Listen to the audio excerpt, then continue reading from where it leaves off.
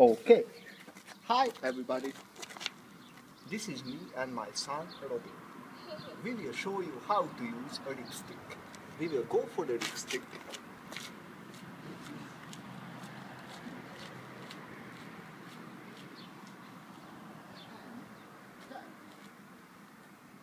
It's very important to gaining speed.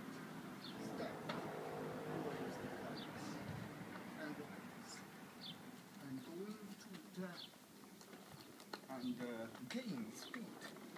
And this is how you can use your RipStick. Next time I will show you how to use a RipStick as a weapon.